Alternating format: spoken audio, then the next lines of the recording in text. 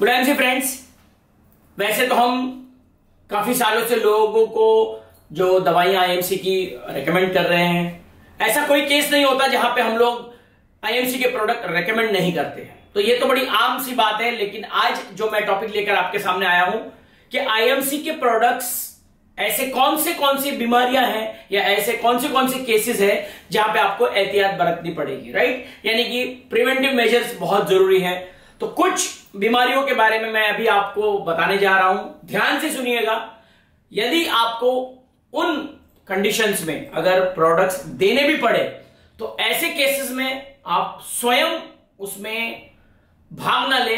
आपके upline series में यदि कोई डॉक्टर होगा या आईएमसी का कोई जानकार व्यक्ति होगा इन प्रोडक्ट्स के बारे में, तभी ऐसे केसेस में आप अपना ट्रीटमेंट रेकमेंड करिएगा। तो फ्रेंड्स शुरू करते हैं आज का वीडियो कि IMC products not to be given in which conditions पहला यहाँ पे लिखा है मैंने हाइड्रोसील राइट अंडकोश में पानी भर जाना।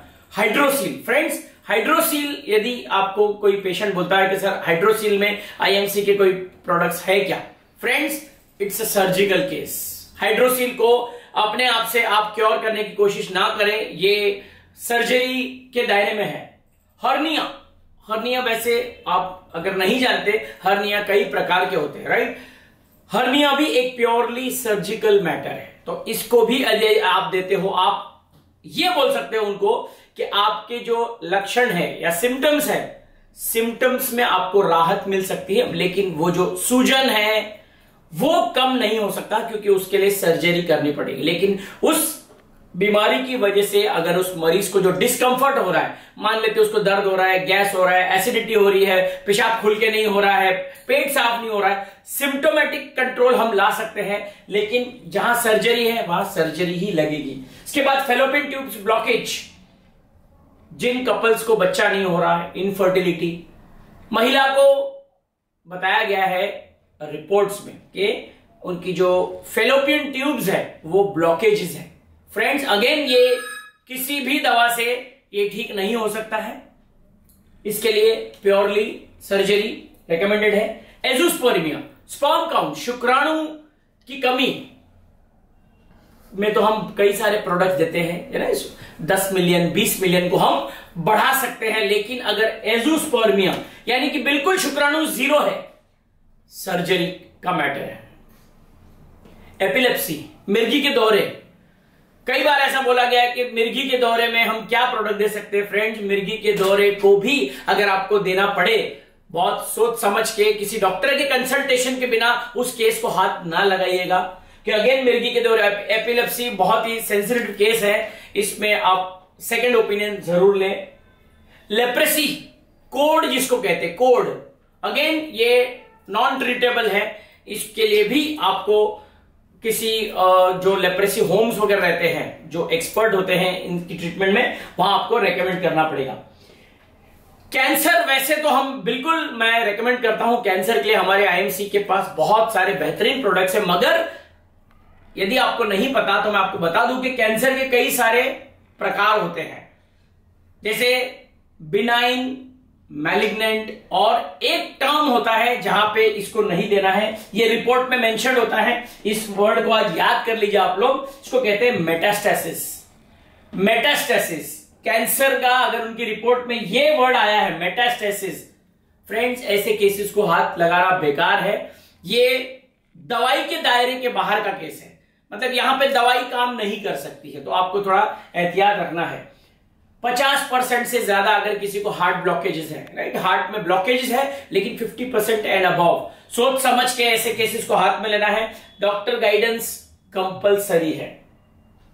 Acute emergency cases acute emergency cases यानी कि heart attack fever more than 102 103 यानी कि 102 103 बुखार, एकदम इमरजेंसी अस्थमेटिक अटैक अपेंडिसाइटिस का अटैक एक्यूट केसेस में आपको आईएमसी के प्रोडक्ट्स बहुत सोच समझ के ही देना है। तो एक्यूट इमरजेंसी केसेस को, मेरी सलाह यही है एज ए डॉक्टर के इसको हम कोई भी प्रोडक्ट के माध्यम से कंट्रोल करने की कोशिश ना करें। एक्यूट में हमेशा उनसे यही कहना है कि पहले आप जाइए, प्राथमिक उपचार आप कहीं ना कहीं नर्सिंग होम में या हॉस्पिटल में करवा के आइए, उसके बाद आईएमसी के प्रोडक्ट शुरू करिए। लेकिन आप कोई भी एक्यूट इमरजेंसी केस चाहे वो अस्थमा का अटैक हो या 104 बुखार हो इन, इनको अपने प्रोडक्ट से ठीक करने की कोशिश ना करिएगा।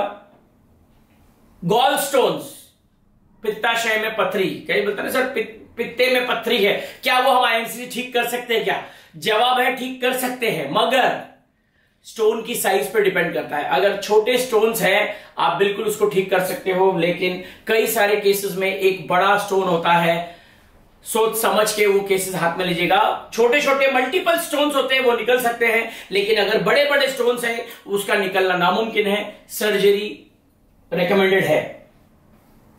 किडनी फेलियर्स किडनी फेलियर्स आप देखे होंगे कई लोगों को किडनी फेल्स में जिनका सीरम क्रिएटिन लेवल पाँच से अधिक है। Serum creatinine levels five plus अगर है, ऐसे केसेस को भी आप अपने आप से ठीक करने की कोशिश ना करें। ये थोड़ा डेंजरस मामला होता है।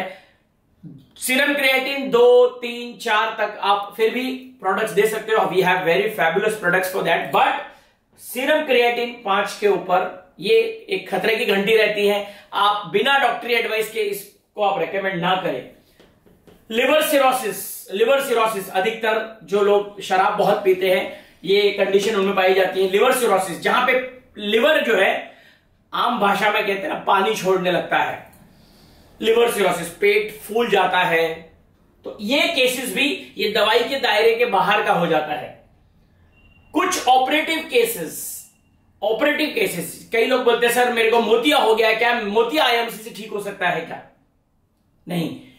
IMC is basically into preventive wellness preventive wellness अगर आपको मोतिया की शुरुआत हुई है यस आप उसको प्रिवेंट कर सकते हो। लेकिन मोतिया हो चुका है, कोई दवा काम नहीं आएगी। Purely operative case knee replacement आपके जो नी है, घुटने हैं, घिसना शुरू हो गया है। डॉक्टर ने आपको ऑपरेशन की एडवाइस करी है। ऑपरेशन एडवाइस डॉक्टर तभी करता है जब हमारे जोड़ों की कंडीशन बॉडी का वेट लेने लायक नहीं बचते हैं। बहुत दर्द होता है, वहाँ से जो हमारा लिक्विड होता है, जिसको हम ग्रीस कहते हैं, वो खत्म हो जाता है, कार्टिलेज घिस जाते हैं। तो जब डॉक्टर ने ऑपरेशन अगर बोला हुआ है, ऐसे केसेस को भी यदि आप ट्रीट करने की कोशिश कर रहे हो, फ्रेंड्स, सोच समझ के इसको कीजिएगा। हाँ जोड़ों की तकलीफ़ अगर अभी शुरुआत हुई है, उसको आप डेफिनेटली ठीक कर सकते हो, लेकिन जहाँ पे ऑपरेटिव वाली बात आ जाती है, एक बार जरा एहतियात बरत लीजिएगा। बॉल्डनेस पूरी तरह से आदमी गंजा हो चुका है है ना? पूरी तरह से गंजा हो चुका है। ऐसे केसेस में डेफिनेटली यहाँ पे उनके हेयर फॉलिकल्स का प्रॉब्लम होता है। तो एक बार बिना प्रॉपर केस टेकिंग के ये कई लोग बोलते हैं मेरे बाल आ सकते हैं क्या? मेरे बाल दोबारा उग सकते हैं क्या? फ्रेंड्स उसको बहुत ही क्लोजली मॉनिटर करना पड़ेगा। कई सारे ब्लड टेस्ट निकालने पड़ेंगे। स्कैल्प के, उसकी स्किन का एनालिसिस करना बहुत ज़रूरी है। जो कि एक आम व्यक्ति के लिए इतना आसान नहीं होता है। तो ऐसे केसेस को भी जरा सोच समझ के हैंडल करिएगा। And major heart ailments major heart ailments यानी कि हार्ट की हार्ट संबंधित कई सारे होता है। उनके कैल्शियम का ब्लॉकेज या कैल्शियम के मारे आर्टरी हार्ड हो जाती है एथिरोस्क्लेरोसिस आर्टीरियोस्क्लेरोसिस ऐसे कोई भी केसेस होंगे, इसको एक बार सेकेंड ओपिनियन ज़रूर लीजिएगा। तो फ्रेंड्स ये मैंने फ़र्स्ट वीडियो में कुछ केसेस बताए हैं। अगर ऐसे केसेस आपके सामने आते हैं तो ऐसे केसेस को बिना डॉक्टरी ओपिनियन आप स्वयं ट्रीट करने की कोशिश ना करें। तो उम्मीद करता हूँ कि ये वीडियो आपको पसंद आया होगा। इस वीडियो को आपको जिस व्यक्ति ने फॉरवर्ड किया हुआ है, उस व्यक्ति से इस इन प्रोडक्ट्स के बारे में या इन बीमारियों के बारे में अगर अधिक जानकारी चाहिए कि आईएमसी कैसे इन प्रॉब्लम्स को दूर कर पाएगा या आपकी मदद कर पाएगा, ज़रूर उस व्यक्ति को मिलने की कोशिश करेगा जिसने आपको ये वीडियो भेजा है। नीचे कमेंट बॉक्स में ज़रूर लिखेगा आपको ये वीडियो पसंद आ रहे हैं या नहीं आ रहे हैं, या और कोई वीडियो बनवाना चाहते हो तो ज़रूर नीचे कमेंट बॉक्स में लिखिएगा। तो फ्रेंड्स यदि आज तक आपने मेरे चैनल को सब्सक्राइब नहीं किया हुआ है तो डॉक्टर आनंद वाजपेयी मुंबई, आप सर्च करिएगा यूट्यूब पे। राइट में सब्सक्राइब बटन है, बेल आइकन हिट करना ना भूले, ताकि ऐसे ही वीडियोस मैं जब अपलोड करूँ, आपको डायरेक्ट ये वीडियोस मिल सके। तो फ्रेंड्स आज के लिए बस इतना ही। फिर मिलेंगे हम ऐसे ही किसी वीडियो के साथ में। Good bye and good and see